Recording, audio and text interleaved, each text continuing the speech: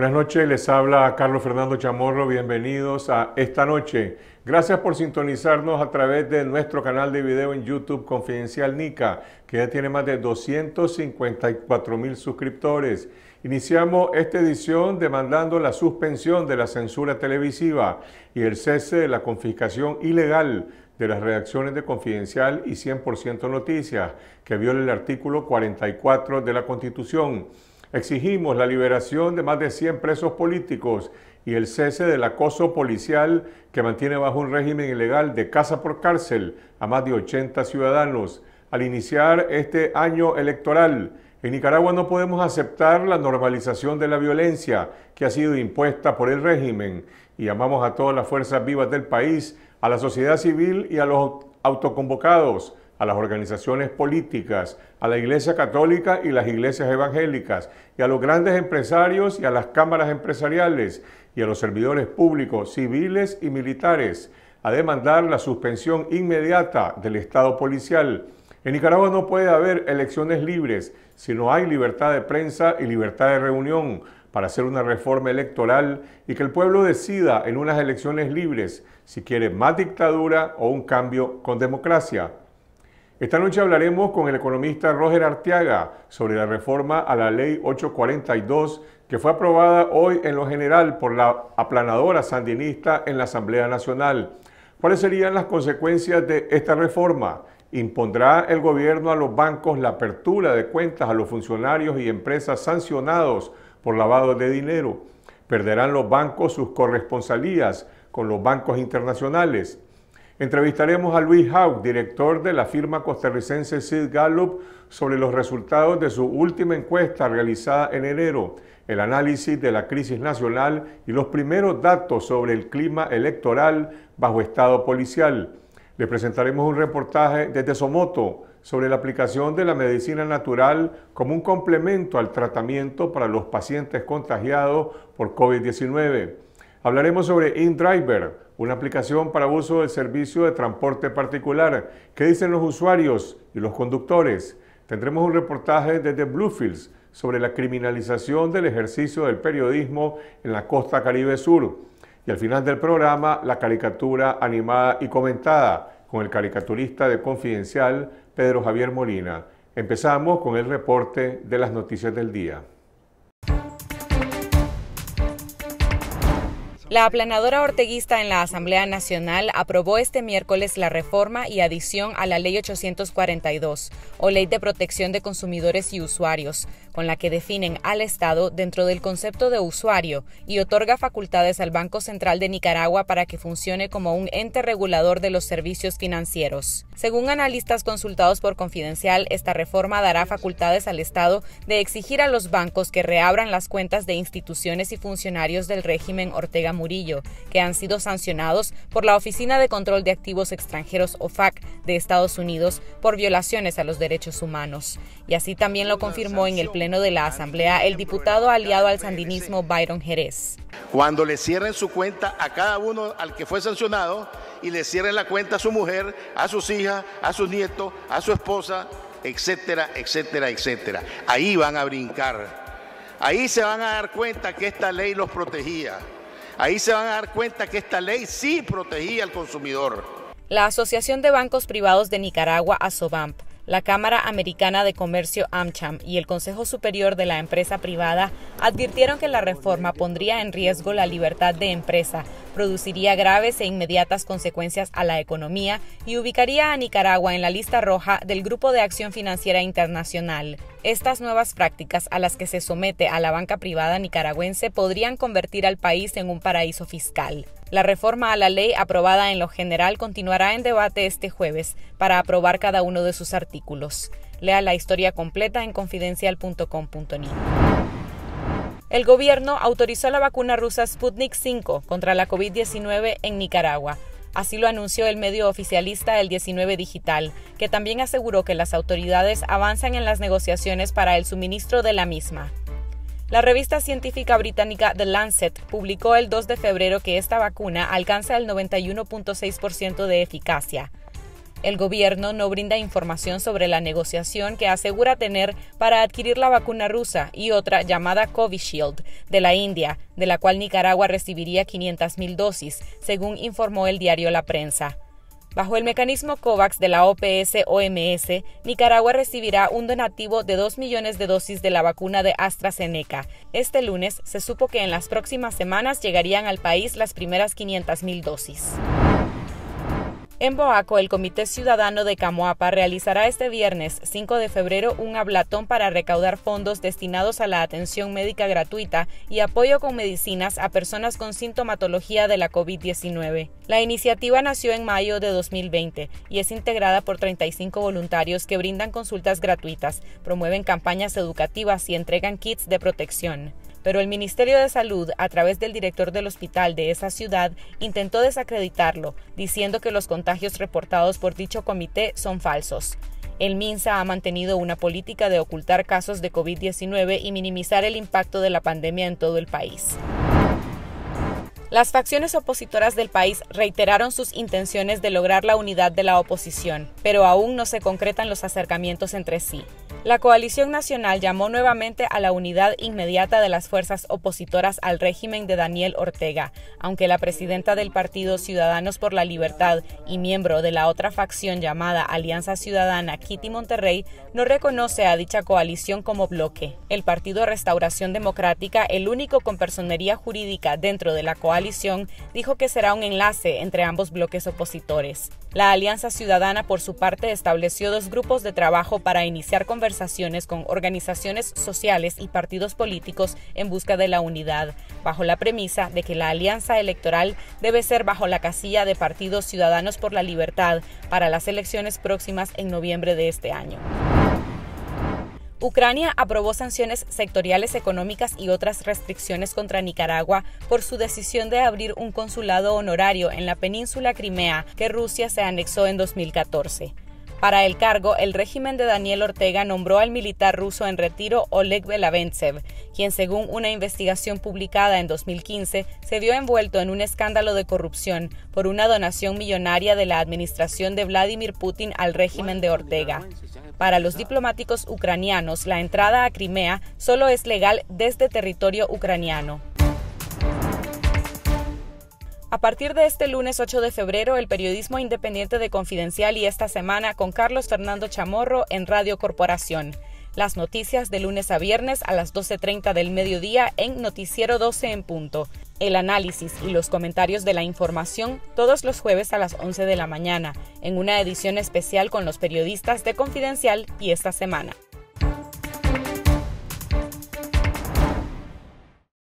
Estas son algunas de las noticias que tuvieron más impacto durante la jornada de hoy y ahora nos comunicamos con el economista Roger Arteaga, expresidente de AmCham y ex representante de Nicaragua ante el Banco Centroamericano, para analizar qué significa para el sistema financiero nacional la reforma a la Ley 842 impuesta hoy por el Frente Sandinista.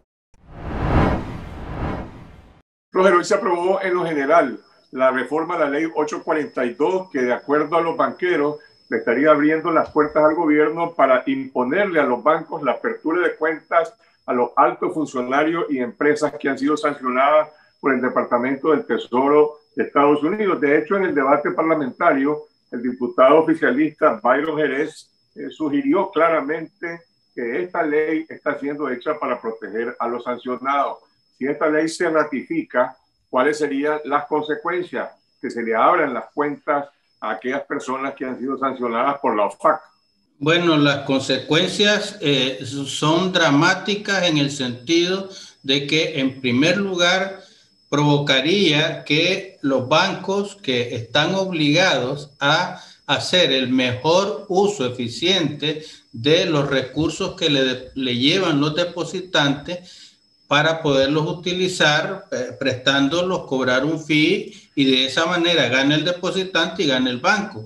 Sin embargo, al obligarle a tener que atender a personas que es un riesgo, el banco estaría incurriendo en un delito, un delito que aunque el artículo 54 de, de, esa reforma que están proponiendo dice de que tienen que justificar con evidencia cuando se le niegue el servicio a una persona, ya sea por lavado de dinero, narcotráfico, terrorismo, corrupción o cualquier problema que tenga la persona que puede ser eh, de, legales eh, eh, o, de, o, de, delitos, pues, ¿verdad? Entonces, el banco es responsable del uso correcto de sus fondos.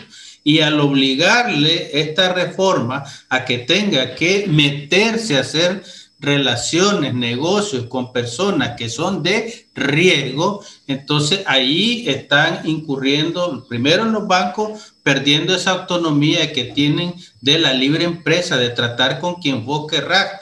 Porque, Carlos Fernando, hay que diferenciar el, el servicio que dan los bancos. No es como el que vende cebolla o el que vende tomate o frijoles que le vende a cualquiera y, ese cualquiera se va con su producto y ve qué es lo que hace y no incurriste en nada. En este caso, al dar servicios a personas que tienen problemas jurídicos, legales, eh, el banco estaría ahí cometiendo un delito que va en contra de, por lo menos, esta, la orden presidencial, la, la, la, 13851 de Trump, que se vence hasta el 28 de noviembre del 2021. Si el banco le da servicio a uno de los sancionados, esa ley, la 13851, en su artículo 4, Carlos Fernando, dice que aquellas personas que den servicio, presten ayuda, hagan, tengan relaciones, con personas sancionadas por esa ley también son objeto de sanción, o sea que se pueden llevar de encuentro a los bancos. Si esta ley se aprueba sin modificaciones, ¿podría Nicaragua y el sistema bancario nacional ser puesto en la lista negra de lavado de dinero por la institución supervisora internacional, como se ha advertido? Sí, la, la GAFI Nicaragua, el sistema financiero en Nicaragua han firmado con la GAFI de que tienen que cuidar eh, el prestigio de, evitar el lavado de dinero, el narcotráfico y todo eso. Entonces, si Nicaragua eh, eh, obliga a los bancos a hacer esto inmediatamente, Gafi va, ya la tienen en, en la lista gris, inmediatamente la pasaría a la lista negra. ¿Y qué significa eso? Eso bloquearía, Carlos Fernando, bloquearía todas las operaciones internacionales que tiene que hacer Nicaragua. No es solo los bancos. Aquí ve, yo no sé qué piensan, pero los el sistema financiero, los multilaterales, cuando dan un préstamo, no es que vienen con una maleta real de aquí al aeropuerto y se lo vienen a dejar al Banco Central, no, eso, esas operaciones Todas esas operaciones se hacen con bancos corresponsales en el exterior, donde los bancos locales, el gobierno y todo tienen cuenta. Y si esos bancos corresponsales, para evitar no caer en el delito del, que señala la, la orden presidencial 13851, tienen que cortar relaciones con los bancos locales y eso sería trastocar todo el sistema porque el exportador, cuando mande un producto, ¿cómo va a poder recibir los dólares que, que, eh, gana por esa exportación? Lo que importan, ¿cómo van a hacer para pagarle, para que le manden mercadería? Las remesas, ¿quién va a venir eh, a, dejar esas remesas? ¿Van a venir con una maleta real al parque eh, central a, entregárselo a la gente? Eh, eh, las tarjetas de crédito, peor, Carlos Fernando, las tarjetas de crédito desaparecerían porque esas operaciones eh, se hacen con, con los prestadores de servicios, las tarjetas de crédito, donde te permiten usar el dinero y pagar lo que usas. Y eso se hace afuera, eso no se hace aquí internamente. Estás hablando de una eventual suspensión de las corresponsalías internacionales eh, para los bancos. ¿Esto significa un corte, una pérdida en el flujo de recursos o es que se encarecerían los servicios que brindan los bancos al aumentar el riesgo? Que alguien te diga, como vos sos ahora más riesgoso te voy a dar, pero con tales y tales condiciones, o es un cierre total? Eh, eh, eh, es un cierre, es un aislamiento, Carlos Fernando, porque aquí, seamos francos, pues yo de banquero, yo no me voy a exponer a que me, me a mí por, por, por violar una ley que se está aplicando, es decir, los sancionados se le aplicó una ley. Y como, como decía al comienzo, Carlos Fernando, esto tiene un, un, interés, un fondo que eh, eh, hoy lo mencionaste al comienzo y ellos mismos lo dicen en, en, en, en, el proyecto de dictamen que acaban de pasar, dice que eh, los integrantes de la comisión ven con beneplácito la reforma planteada para tutelar las garantías, que permitirá a los mismos estén plenamente informados sobre las decisiones de un determinado proveedor que no le puede dar estos servicios. Y en el artículo 12, aquí está la madre del Cordero, Carlos Fernando, porque dice que esta comisión respalda que esta iniciativa estipule que las decisiones unilaterales de un proveedor con respecto a la negación o cancelación de bienes o servicios no pueden extenderse a terceras personas distintas al consumidor o usuario afectado. Eso se llama Carlos Fernando, testaferro. Le están diciendo de que al banco, de acuerdo al artículo 54 de, esta reforma, el banco puede decir, mira, a vos no te puedo dar servicio porque vos estás pegado, vos estás sancionado. Pero le están diciendo al banco, ah, no le des servicio al sancionado, pero no se lo puede quitar a, a esta persona que puede extenderse a terceras personas distintas al consumidor o usuario afectado. Esto se llama los familiares, los testaferros, y ahí el banco va a tener un problema. ¿Cómo va a, justificar que no le da un servicio a un testaferro? Ahí, ahí, es donde está el gran problema que están enfrentando los bancos. Mencionaste el tema de las remesas y alguna gente dice, bueno, este es un conflicto político, a final de cuentas, entre el gobierno que está protegiendo a los sancionados y los bancos puede afectar este servicio de remesas familiares que reciben más de 600 mil familias en Nicaragua? ¿De qué manera los afecta? totalmente, porque ¿cómo van a hacer para que ese dinero pueda entrar al país si, si esas operaciones se hacen con corresponsales bancos extranjeros, que son los que captan las remesas, los depositan en cuenta de los bancos locales o las agencias de, eh, que transfieren los fondos y esa agencia, como tiene su cuenta ahí, dispone de ese dinero y lo puede entregar aquí en Nicaragua. Pero si eso no existe, si eh, Nicaragua está aislada y no tiene el banco corresponsal, yo creo que aquí vamos a volver a, como en las diligencias en el oeste, que, que los bancos trasladaban el dinero de, de, un sitio a otro sitio en una diligencia con unos armados ahí para ir a dejar los reales. Entonces, e, eso está trastocando, es una locura. Esta reforma es una locura. Y, y hasta hoy, Carlos Fernando, la aprobaron en lo general con 70 votos a favor y 14 en contra y una abstención, pero mañana van a ir artículo por artículo y, y algunos banqueros eh, tienen la esperanza de que al discutirse artículo por artículo puedan darse cuenta de la trascendencia que esto puede tener porque si aquí, si eso provoca la quiebra o que se tambalee un banco, el mayor riesgo que puede ocurrir, Carlos Fernando, es que la gente cuando ve que un banco está tambaleándose o está mal, lo primero que hace es decir, mejor ni pago, porque a lo mejor quiebra y entonces no tengo que pagarle. Pues. Y eso ya ocurrió aquí en Nicaragua. Una vez un, ciudadano dijo, el banco tal está, está quebrando. Y la gente fue, corrió, sacó sus depósitos y quebró el banco.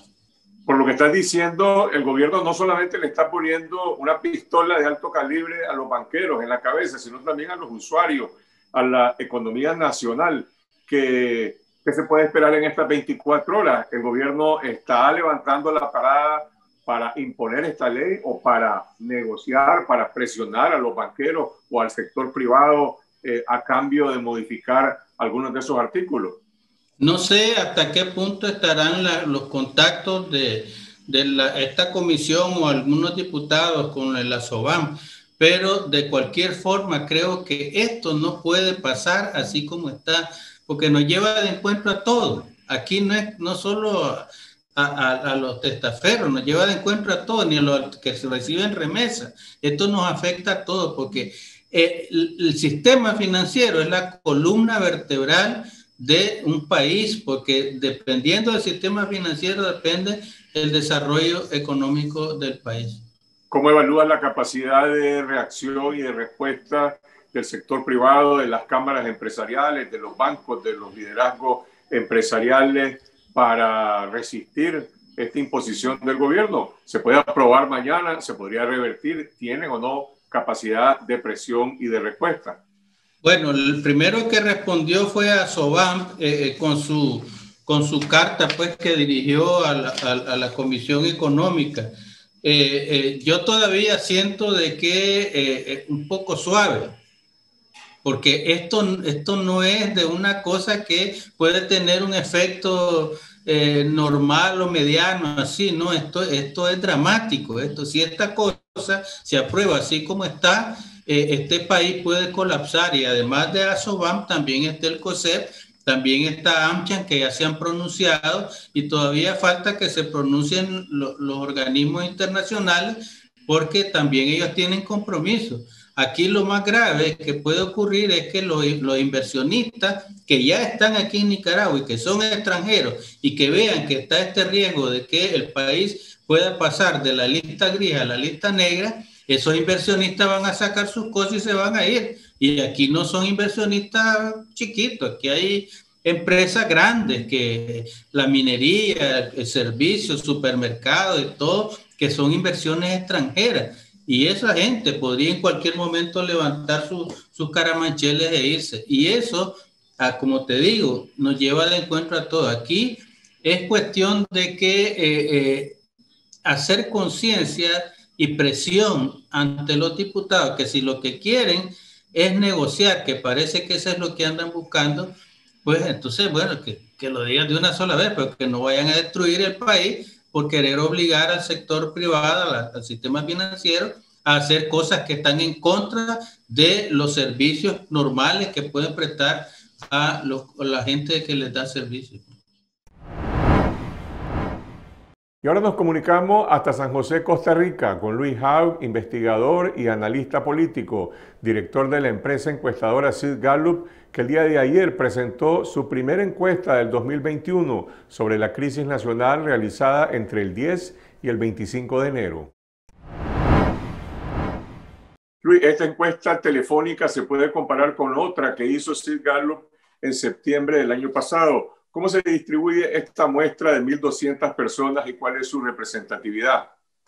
Sí, esta es una muestra de 1.200 personas, como mencionaste, que al igual que en septiembre del año pasado, es una muestra representativa de los ciudadanos de 16 años y más residentes en el país y con teléfono celular. representa a aquellos que están a lo largo del territorio en una distribución proporcional a el número de personas que viven en cada uno de estos lugares con, de acuerdo a, la participación en el censo de población. Ahora, ¿cómo se distribuye en los municipios rurales, en el interior del país, o tiene un predominio eh, de las ciudades, de Managua, de los principales centros urbanos? Ah, este es representativo de todo el país a nivel general. Es aproximadamente una de cada cuatro personas eran residentes en Managua. El resto en las principales ciudades, el 75% restante en las principales ciudades, así como en las zonas rurales del el país, con aproximadamente un 30% de la población menor de 25 años y un 23% de la muestra mayor de 45 años. Como vemos, estos porcentajes reflejan la población adulta del país. Si se comparan los resultados de esta encuesta con 2020, la mayoría de la población sigue opinando que el país va por el rumbo equivocado. Eso dice el 60%, mientras el 30% dice que va por el rumbo correcto. pero pareciera que hay una mejoría en la opinión que tiene la población sobre el gobierno. Por ejemplo, en septiembre, la desaprobación del gobierno era de 54% y bajó a 46%.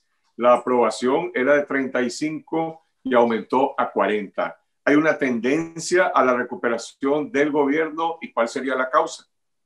Hay una leve tendencia a la recuperación del gobierno. No obstante, todavía la mayoría de la gente sigue siendo pesimista con respecto al rumbo que avanza el país.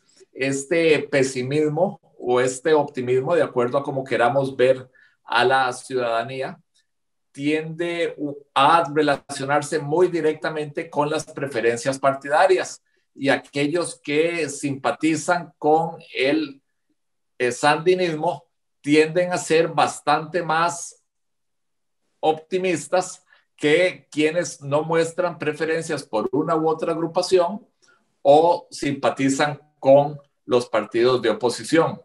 Esta, este incremento en las opiniones positivas hacia la, hacia la evaluación que se está dando de la administración Ortega se empezó a ver en noviembre y diciembre, más que todo por el desempeño que la administración mostró para enfrentar las tormentas y los distintos desastres naturales que se dieron en el país. Lo que está diciendo es que hay una percepción positiva de un sector de la población en relación a la manera como atendió la emergencia. Bueno, la gente pregunta, pero ¿dónde estaba el presidente Ortega? ¿No lo vieron eh, dirigir o conducir las labores de emergencia eh, frente a esa crisis? Este, no se le vio, pero a nivel general la población en esa crisis percibió que la administración actuó de una manera favorable. Y esto impactó directamente en un gobierno tan presidencialista como se percibe es el que se tiene en Nicaragua, a donde las distintas acciones son directamente relacionadas con el mandatario. Los tres principales problemas del país siguen siendo el desempleo, 36%, la corrupción del gobierno, 16%, y la situación política del país, 11%. Estos tres temas están interrelacionados con la gestión estatal. Sin embargo, está diciendo que hay una leve mejoría en la opinión de la población sobre la opinión del, del gobierno. Tota-, totalmente. Esta leve mejoría es siempre desde, desde el punto de vista de que se está en tierras negativas. O sea, recordemos que tres de cada cinco personas consideran que se avanza por el rumbo equivocado. Sí, ahorita ya mejoró en cuatro o cinco puntos la evaluación que se está haciendo del mandatario. No obstante lo anterior, siguen siendo más las personas que opinan que se está haciendo una mala labor, que la situación económica está empeorando con respecto al año pasado y que miran con pesimismo también el cómo estarán las finanzas familiares para el resto del 2021. La principal preocupación de los hogares sigue siendo la falta de empleo, eso dice el 19%, y también el impacto de la pandemia de la COVID-19, pero las opiniones se dividen cuando les preguntan si el gobierno puede ayudar a resolver esos problemas. 47% tienen confianza en el gobierno y 49% no tienen ninguna confianza. Pareciera que el país se divide en dos mitades en este tema. Nuevamente, definitivamente hay polarización con respecto a Daniel Ortega. Esta polarización hace que veamos un grupo sandinista muy unido alrededor de la administración y una oposición a donde en gran parte de estas personas no tienen confianza en el mandatario, no creen que con sus acciones pueda hacer algo para mejorar los distintos problemas que tienen en los hogares y por lo tanto están buscando algún cambio. Vamos a los datos sobre la visión que tiene la población del panorama político, de los partidos políticos. 62% dice que no simpatiza con ningún partido. El Frente Sandinista mantiene un respaldo del 25%. Y luego otros partidos o agrupaciones juntos sumarán un 6, 8%, la UNAP 4%, C por L 3%, el PLC 2%. ese apoyo del Frente Sandinista, ¿cómo se distribuye políticamente, territorialmente entre la población? Ese, ese, ese apoyo sandinista tiende a ser más relevante en las zonas urbanas, empezando por Managua, donde se observan más simpatizantes del partido oficial, entre personas con al menos un año de estudios universitarios y que se han visto beneficiadas a nivel interno del hogar en el último año con respecto a las finanzas familiares. En este grupo vemos cómo cuando se les consulta sobre lo que han vivido el año anterior, en la mayoría de los casos consideran que están igual o están mejor con respecto al principio del 2020. Por el contrario, aquellos que están sin preferencias partidarias han visto desmejorar las finanzas de su hogar y esto es reflejo también del problema principal que mencionan, viven en el país y viven en su hogar, que es el desempleo o la necesidad de un trabajo que les permita obtener mayores ingresos para hacerle frente al costo de la vida. A inicios de enero se conformó la Alianza Ciudadana entre el partido C por L y la Alianza Cívica y por otro lado se definió también eh, la coalición nacional donde participa la UNAP, el partido PRD, el movimiento campesino y otros sectores. Estos dos bloques, alianzas o, o coaliciones, ¿qué nivel de conocimiento tienen entre la población y qué nivel de respaldo político? A nivel general, en estos momentos es importante evaluar que las distintas consultas que se realizan en estos estudios son a nivel espontáneo. ¿Qué quiere decir? Que se les pregunta a quién, prefieren o con qué partido van, sin recordarles uno u otro grupo. ¿Qué observamos entonces? Que todavía estas organizaciones tienen un alto nivel de desconocimiento entre la población y el hecho de que no muestren partidarios hacia uno u otro partido esté inscrito no, no quiere decir que en un momento de las elecciones no vayan a respaldarles. ¿Por qué? Porque si observamos un alto nivel de indecisión, tres de cada cinco personas, aproximadamente un 60% de la población, no muestra preferencias por una u otra agrupación, más si ya a lo largo del estudio van mostrando descontento con la manera que la administración se está llevando a cabo. Las elecciones deberían realizarse el 7 de noviembre, no han sido oficialmente convocadas. El país se mantiene hoy bajo un estado policial. Tampoco se ha hecho una reforma electoral. ¿Cómo inciden estos factores en la importancia que la gente le atribuye a la elección y a ir a votar? Es decir, hay ¿Hay perspectiva de una participación masiva o la población está esperando que ocurran otras cosas? En estos momentos no hay, este, no hay una disposición mayoritaria de la población a acercarse a las urnas que refleja entonces la necesidad o nos la necesidad de mayor información sobre las elecciones, de mayor exposición de los distintos candidatos y a estas alturas no hay que engañarse de que mayor penetración de nombre es reflejo de mayor intención de voto. Simplemente es porque conocen a esta persona, le, le mencionan para efectos de un apoyo en las elecciones.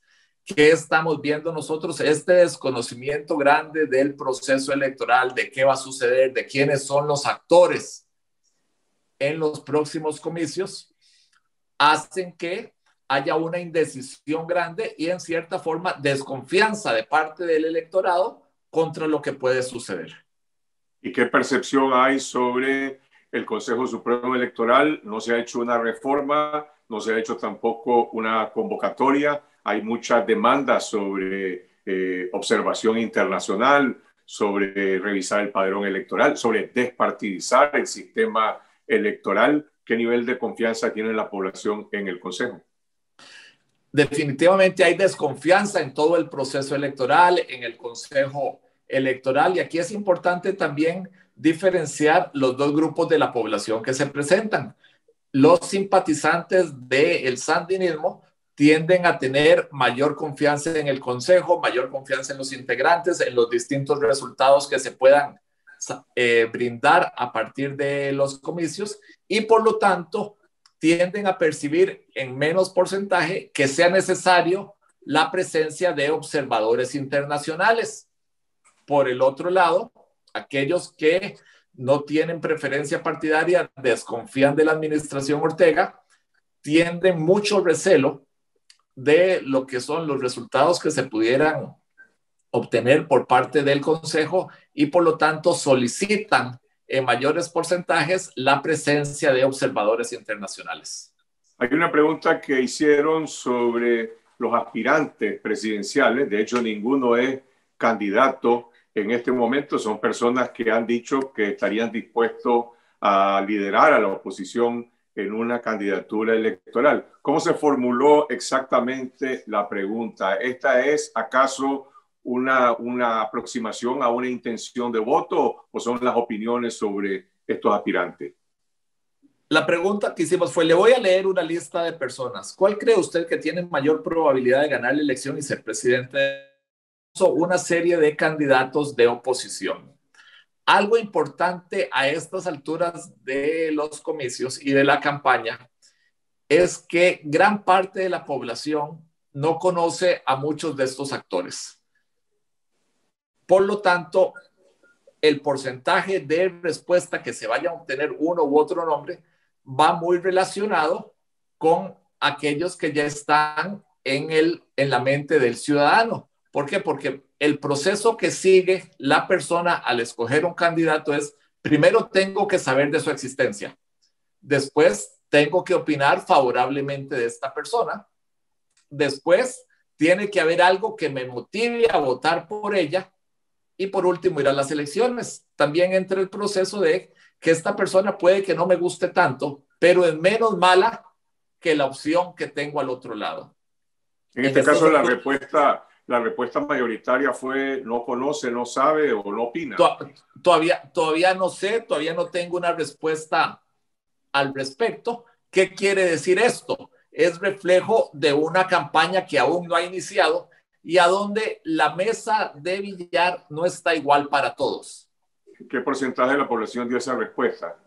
En estos momentos, un 39% de la población no supo indicar de la lista que se le brindó uno u otro candidato que tendría posibilidades de ganar, porque nuevamente es, un, es reflejo de una campaña que no, ha que no ha iniciado, muchos nombres que no se conocen, lo vemos en el país vecino en Costa, en Costa Rica, a donde un Carlos Alvarado, seis meses antes de la elección, era altamente desconocido. Bueno, en esos momentos, si se preguntaba en una encuesta si Carlos Alvarado tendría opción, él no salía mencionado, o muy, muy poquito. ¿Por qué? Porque eran relativamente solo unos cuantos que habían oído del nombre y de sus intenciones. Conforme la campaña fue avanzando, ya él se dio a conocer en la población y resultó ganador.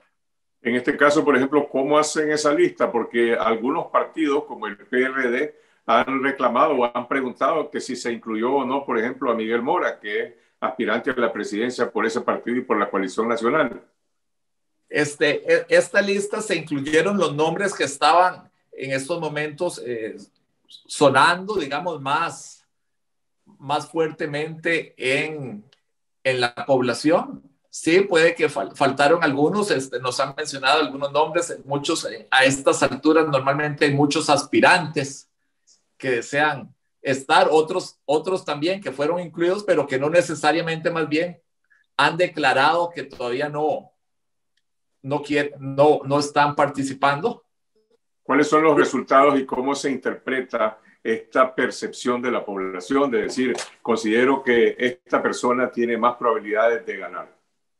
Bueno, viendo los resultados en estos momentos, hay mucha indecisión en la población. Eh, cuando observamos un 40%, o sea, dos de cada cinco de ellos diciendo, no sé cuál puede ganar. Eh, una Cristiana Chamorro, Félix Baradiaga, Juan Sebastián Chamorro, Carlos Fernando Chamorro, siendo citados con una diferencia entre ellos, un Arturo Cruz con 5 y una este, relativamente muy desconocido, una Cristiana Chamorro con 13, y con cuatro personas en medio, entre 5 y 13, que observamos aquí. En realidad, cualquiera de ellos, cualquiera de estos nombres puede ser integrante de la papeleta, sin preferencia de uno u otro. ¿Por qué? Porque hay gran parte de la población que todavía está a las expectativas. Si yo analizo estos números, no puedo decir Cristian está adelante. Lo que yo puedo decir es que cualquiera de los que se evaluaron, después de una campaña en la que se dan a conocer ante la mayoría de la población, puede resultar electo. ¿Y por qué? Porque la mayoría de estas personas, salvo Cristiana Chamorro, que sí ya tiene una penetración de nombre más alta, es, con, es conocida por personas con educación secundaria y superior. Todavía personas con un máximo de sexto grado de educación, zonas rurales, la, la presencia de nombre no es tan alta. Una de las preguntas que se debaten entre las organizaciones políticas, entre los aspirantes, cómo debería seleccionarse en Nicaragua una fórmula presidencial de la oposición unificada y también de los candidatos eh, a la Asamblea Nacional, al Congreso. Y algunos dicen se necesita una encuesta. Eh, las encuestas son un indicador para llegar a esa decisión, qué tamaño tendría que tener la muestra de esa encuesta, por una parte, y por la otra, qué requisitos se necesitan para que los candidatos realmente puedan ser conocidos, puedan participar en debates en la televisión, puedan salir de su casa, porque algunos están casa por cárcel. Bueno, definitivamente una encuesta para elegir el candidato no es el mecanismo ideal. Y lo decimos nosotros en Sid Gallup, que hacemos encuestas.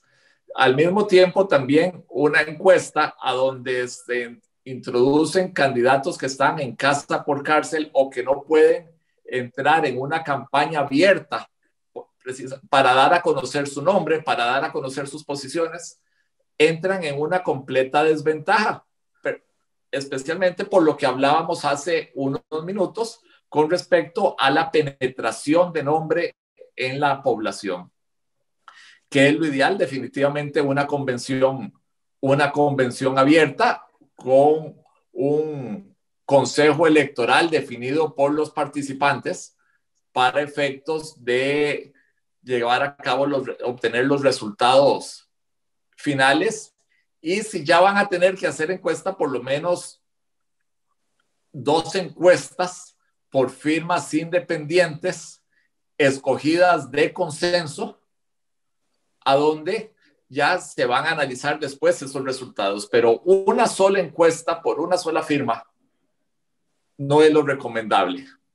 ¿Cuáles serían los requisitos básicos para decir hay condiciones para una competencia electoral en Nicaragua? aquí no hay hoy libertad de reunión, no hay libertad de movilización. Los, los aspirantes políticos, las organizaciones no pueden manifestarse en las calles, no pueden realizar convenciones ni siquiera porque están asediados y acosados por la policía. No hay libertad de prensa, no hay libertad de expresión, tampoco hay una reforma electoral. Bueno, definitivamente todas esas variables que acabas de mencionar son mordazas a una elección justa. En, en el momento que uno u otro no puede reunirse, no puede expresarse libremente, no puede compartir un mensaje de una u otra forma, o peor aún, no tiene libertad de movimiento, definitivamente se está coartando la posibilidad del pueblo de elegir libremente con conocimiento de causa. Estamos evitando que haya información en la opinión pública. Al evitar esa información, definitivamente estamos limitando la manera de escoger a los líderes futuros. Quiere decir que la dictadura en este momento pues tiene los dados cargados, tiene el control del sistema electoral, eh, tiene además el hacha pendiente sobre la cabeza de los contrincantes, de los partidos y de los aspirantes, incluso para inhibirlos e inhabilitarlos con las leyes que ha, que establecido y además tiene el control de los tiempos, puede decidir en qué momento, porque no, no se ha convocado la elección, no se ha convocado, no se ha hecho la reforma electoral y puede decidirlo todo en el último momento. No, definitivamente todas estas regulaciones que se están dando, estas limitaciones de tiempo, restringen fuertemente una elección justa. Nuevamente, hablemos de las limitaciones de tiempo. Un Daniel Ortega conocido con el respaldo claro de aproximadamente un 25% de la población contra alguien nuevo, desconocido, que no, se, que no se le brinda el tiempo para poder hacer campaña y llevar a cabo su mensaje a la población, entra en una desventaja clara el día de las elecciones. Al mismo tiempo también, si no se permite una campaña de honestidad y de claridad con respecto a los observadores internacionales que brinden confianza a aquel grupo de personas que no se quiere acercar a los comicios porque no cree en los resultados. Y no porque no le gusta uno u otro candidato, simplemente porque no confía en el marcador final que se va a dar, nuevamente trae trabas muy significativas al proceso. Eso es lo que dice el director de Sid Gallup, Luis Howe. Y ahora nos trasladamos hasta Somoto, en el departamento de Madrid, donde médicos y pacientes han estado utilizando la medicina natural como un complemento para el tratamiento de la COVID-19. Juan Carlos Bou nos cuenta la historia.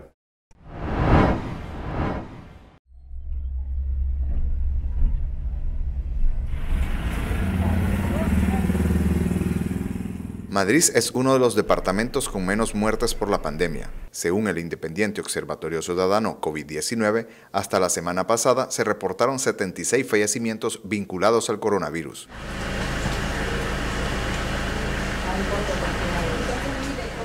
Médicos y pobladores atribuyen esta baja mortalidad al uso extendido de la medicina natural como acompañamiento del tratamiento químico. Para mí es muy buena, sí, porque lo que hace es aumentarte la inmunidad Sabemos que la sustancia que contiene, por ejemplo, el eucalipto es capaz de matar bacterias y virus. Eh, la manzanilla es muy buena también. Siempre puedes tener la instancia de que si la persona pues, no mejora, pues recurrir al hospital, ¿verdad? Para la oxigenoterapia. Casi siempre el paciente que me llama o me manda un texto o me manda una foto, ya me dice, ya fui al hospital, ya me dieron mi diagnóstico, es esta mi enfermedad, sí es COVID, y ahora yo quiero que usted, además del esquema que estoy empezando a usar, usted me diga con qué tratamiento natural yo lo voy a acompañar. Entonces ahí ya entra mi parte como profesional en el área de la medicina natural. Entonces el paciente va de la mano y a la semana, 10 días, el paciente es un paciente que ya está mirando otro, otro semblante, ¿verdad? Y el síntoma ya se ha ido y ahora él lo que va a hacer es una respectiva cuarentena. En los mercados se ha disparado la demanda de productos naturales como las hojas de orégano, el jengibre, la manzanilla y las hojas de eucalipto. Estos productos son señalados de fortalecer las defensas ante enfermedades respiratorias. Sin embargo, los doctores advierten que no se deben abandonar los tratamientos médicos. No ocupamos abandonar el tratamiento químico para eh, iniciar el tratamiento natural. Nosotros lo podemos llevar de la mano. En este sentido, estamos hablando del esquema, puede ser antibiótico, puede ser corticoide, puede ser antiinflamatorio, puede ser antigripal, se esquematizó el tratamiento, lo esquematizamos, se mandan las dosis y alterno nosotros podemos mandar un cocimiento que le llamamos nosotros. Podemos hablar de un cocimiento, por ejemplo, de orégano, de zacate de limón, de fenogreco. El paciente cursó su tratamiento, por decir así, antibiótico o su tratamiento de corticoide de la mano con el tratamiento natural y el tratamiento natural lo puede extender y eso hace que ese organismo quede reforzado ante otra posible enfermedad, va a ser más difícil de que la enfermedad llegue a atacar de una manera grave al paciente. En enero pasado, el Observatorio Ciudadano reportó más de 40 casos sospechosos en Madrid. Hasta la semana pasada se registraban 626 casos sospechosos en todo el departamento. Han salido pacientes de todos los municipios. Al inicio los pacientes eran trasladados para Estelí o para Managua, pero parece que después ya se pusieron las pilas y empezaron a atenderlos aquí hasta pues, llegar a recuperar pacientes, sacarlos de la crisis. El profesor Félix Guzmán es uno de esos pacientes que se han recuperado de la COVID-19 con el uso de medicina química y natural. Él fue el primero en contagiarse en su vivienda. Ya los cinco días que tengo que estar en casa y mi mamá haciéndome unos té, tomando acetaminofén y todo eso, también ellos empiezan a, sentir los síntomas. Eh, veo yo que mi mamá empieza a, tener tos, mi papá también, mis hermanos, pero ellos era un poco más leve, la situación más grave era en, mi persona. Mis familiares, como son mis hermanos, son más jóvenes, tenían las defensas un poco más, más fuertes que mí, incluso mi mamá pues y mi papá, porque ellos como se han cuidado también bastante, no, no los llegó muy fuerte. Usaron lo que es el té de jengibre, eucalipto, y eso lo tomaban en la mañana y lo tenían como café prácticamente. Tras varios días combatiendo la COVID-19, el profesor Félix Guzmán fue llevado al Hospital Juan Antonio Brenes de Somoto e internado tras hacerle una radiografía torácica y comprobar daños en sus pulmones. En ese momento me dicen a mí que, que me prepare para las 4 de la mañana, ¿verdad? El día 10, que me van a hacer el examen de, eh, o la prueba de COVID. Entonces a las 5 de la mañana pasaron los médicos y me hicieron la prueba. A las 6 de la tarde de ese mismo día ya estaban los resultados y me, dijeron que había dado positivo a COVID. Eh, fue algo difícil para mí porque para, para, decirles yo había escuchado pues que todo el que se contagiaba de COVID no sobrevivía. En la familia del profesor se contagiaron 10 personas, pero solo él fue hospitalizado. Los demás decidieron tratarse en casa usando los mismos medicamentos que Félix Guzmán recibía en el hospital. Ellos se automedicaron y de hecho que tomaron más que todo la acetromicina, que es la que me estaban dando a, mí. Ellos tomaron acetromicina, compraron aspirina y, y ellos se automedicaron prácticamente y con los té ellos pudieron sobrevivir también. Yo les dije que en la casa pues estaban afectados también los familiares míos y no me preguntaron, no hubo pues una, no se le dio una importancia pues a, la familia. Eh, en mi caso sí, ellos estuvieron bastante pendientes conmigo, pero en caso de ellos no, porque ellos, más bien yo fui el que les alerté a ellos que qué medicamentos a mí me estaban dando y así ellos pudieron comprar. El tratamiento que manda el MINSA muy deficiente porque lo que hermana es acitromicina, eh, acetaminofén, y lo que hay que mandar aquí es tres líneas, antibiótico, anticoagulante y antiinflamatorio. Pese a la baja incidencia de la enfermedad en Madrid, los médicos advierten que no deben relajarse las medidas de prevención como el uso de mascarillas y el lavado de manos.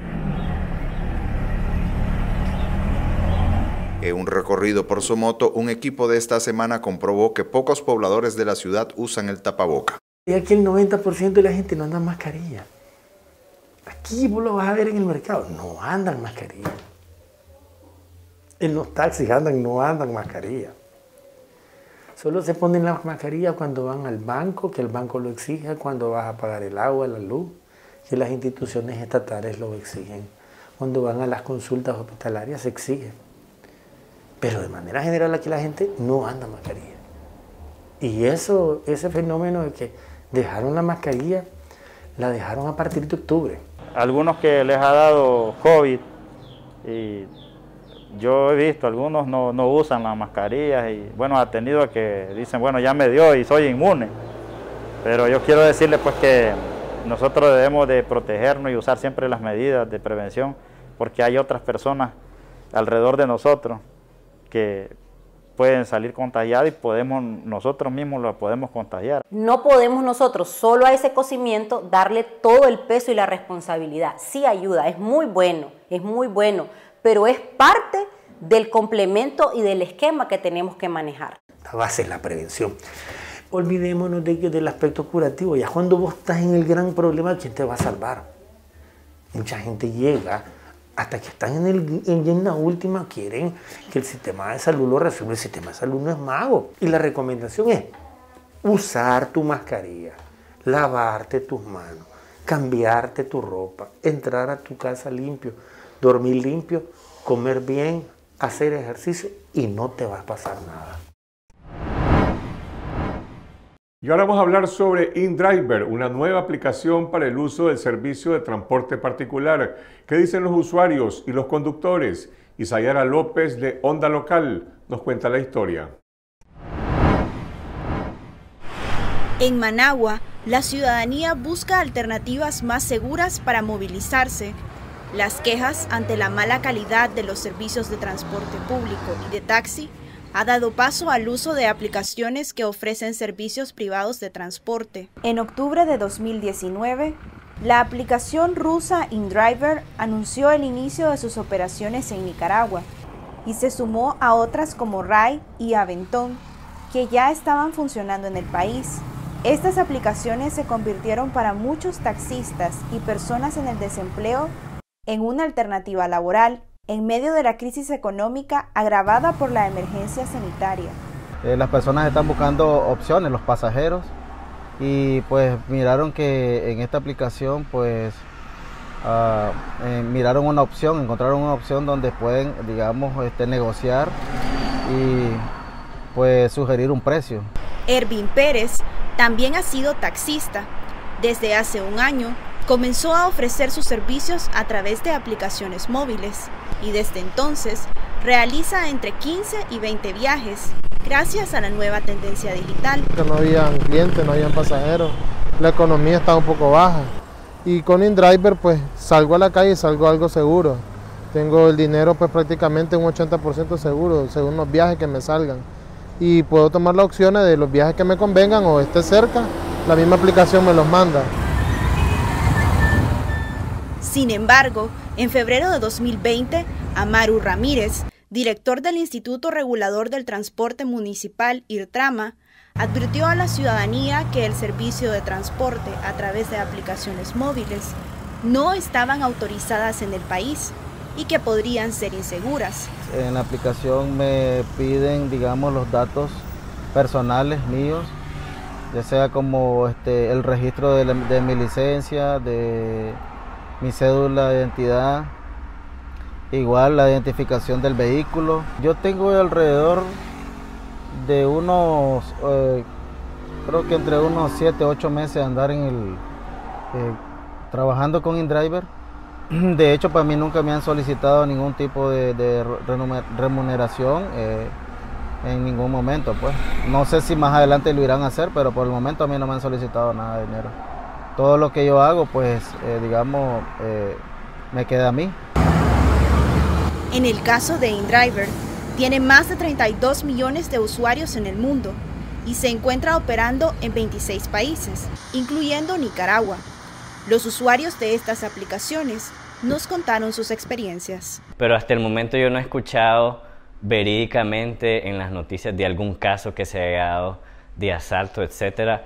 Y es cuestión de seguridad. Digo, la aplicación te da el número de placa del conductor, te da el nombre del conductor Vos podés corroborar si efectivamente el conductor, el carro con su placa son los que anuncia la aplicación. Llevo ya casi un año usando la aplicación, eh, la uso prácticamente diario y hasta el momento no he tenido grandes inconvenientes ni problemas pues. Hasta el momento creo que son pocos los inconvenientes que han tenido las personas con, al respecto de la seguridad porque aparte de que lo siento más seguro, es más rápido, ah, porque vos venís, entras a la aplicación, haces tu oferta y hablas directamente con el taxista, a que tal vez tenés que salir, mm, si vas cargada, en, mi caso yo siempre llevo a mis perras. Entonces siempre voy con, su casita y se me hace pesado pues caminar hasta el lugar donde puedo ir a tomar el taxi. Hansel, Lucrecia y Albania han encontrado una alternativa más cómoda para viajar sin embargo, en las redes sociales circulan denuncias de robos y acosos por parte de conductores que ofrecen este servicio. Un conductor prácticamente empezó a chatearle a una clienta, le empezó a enamorar y, decirle un poco de cosas, pues igual lo reportaron y lo bloquearon, pero en ese aspecto pues es que uno debe ver las personas que, ingresan a esta aplicación, porque lógicamente no te piden un récord de policía como como está establecido aquí a la hora de un, de un trabajo formal o un récord de la ley 510 para ver qué tipo de personas son indeseables o si son formal. Aplicaciones como InDriver no poseen oficinas de atención al cliente en Nicaragua, lo que limita la asistencia de cualquier tipo de incidentes, el asesoramiento a sus conductores y de garantizar a los usuarios el transporte de forma segura.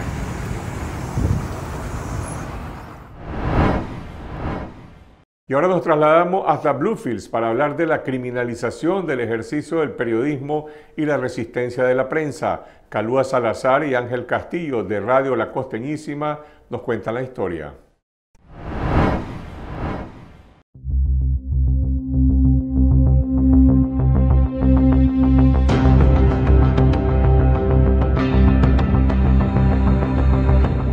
Gobierno de Ortega se instauró en el poder en el 2007, fue creando un cierre paulatino de fuentes oficiales hacia periodistas críticos al gobierno el acceso a la información pública está fragmentado desde antes del 2018. Instituciones, los funcionarios no nos atienden, nuestro compromiso entonces con la gente. Sin embargo, desde el 2018 se criminalizó esta labor en todo el país. El 2018 marcó una diferencia en el sentido de que sabíamos que ya no teníamos acceso a la información pública o que esa información era mentira. Bluefields quedó marcado con el asesinato del periodista Ángel Gaona, que fue el detonante para atemorizar, perjudicar y criminalizar a periodistas. Inmediatamente los medios de comunicación oficialistas informaron que Ángel lo había asesinado los jóvenes que estaban protestando, el grupo que estaba protestando. Y era imposible ponerle un micrófono a la policía o a las autoridades para que repitieran su mentira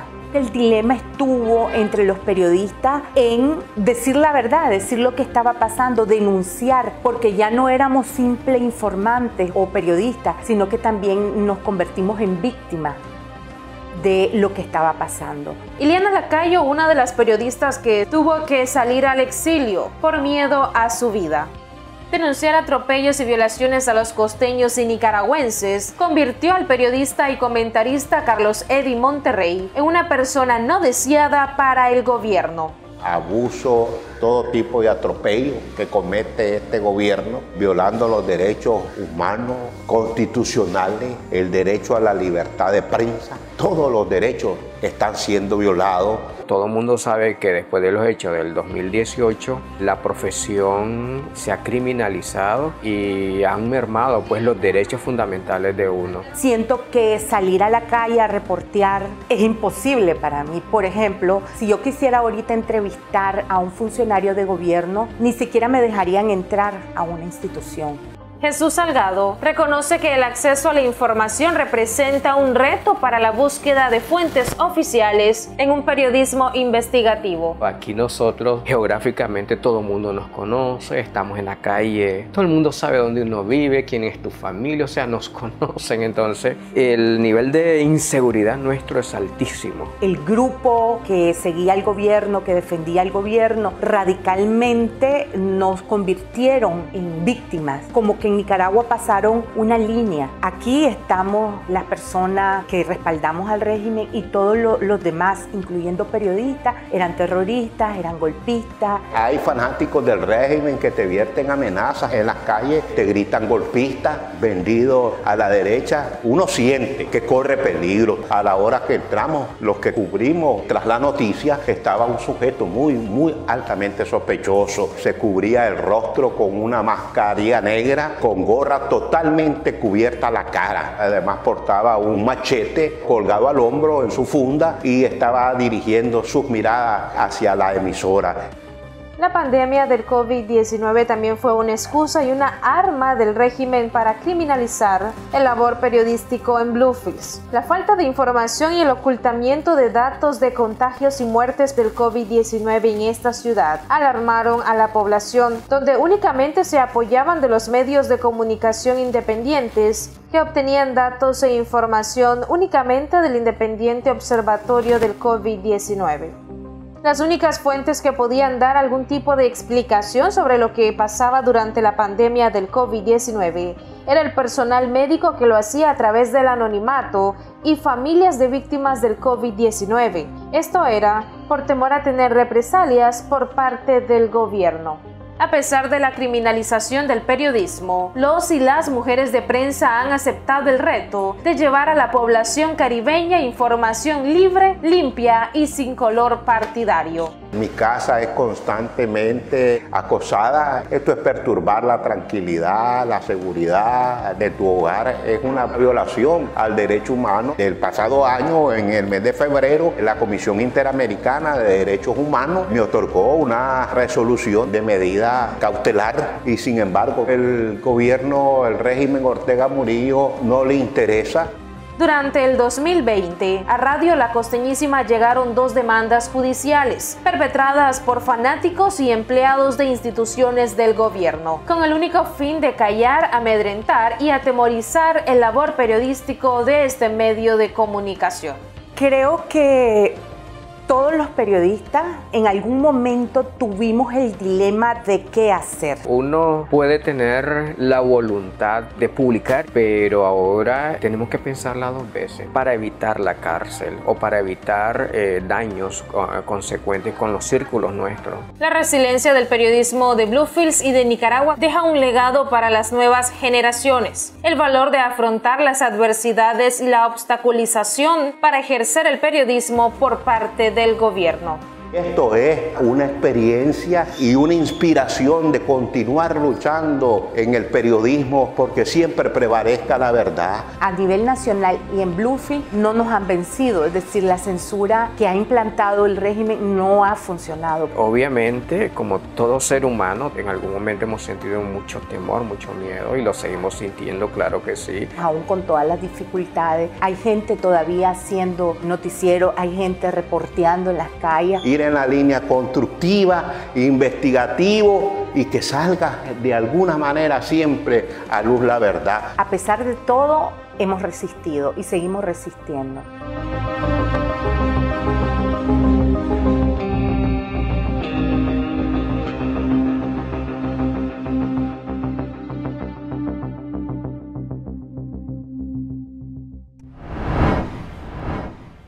Y ahora nos dejamos con la caricatura animada y comentada con el caricaturista de Confidencial, Pedro Javier Molina. Hola gente, acá haciendo un poco de memoria. Recuerdo cuando la pareja dictadora recién había asumido el poder. Recuerdo a los que decían, pero por lo menos la reelección la tiene prohibida. Luego, cuando se pasó por la piedra esa prohibición, entonces dijeron, pero por lo menos hay elecciones, ahí lo sacamos. Luego, desbarataron el sistema electoral y entonces dijeron, ok, pero por lo menos es populismo responsable. Luego quebraron el INS y entonces dijeron, bueno, pero por lo menos con los derechos civiles no se ha metido. Luego ilegalizó ONGs, persiguió campesinos y entonces dijeron, ok, pero por lo menos masacrar no ha masacrado. Y llegó abril de 2018. Y entonces luego dijeron, bueno, pero por lo menos va a ir al diálogo. Y luego, bueno, pero por lo menos lo hicimos firmar unos acuerdos. y luego dijeron, por lo menos a los medios no los ha perseguido. Y entonces cerraron, desbarataron medios, encarcelaron periodistas los exiliaron. Y luego dijeron, bueno, pero por lo menos con la propiedad privada no se han metido. Quizás comenzaron a confiscar. Ok, pero por lo menos con la economía no se han metido. Y luego resulta que también desbarataron la economía.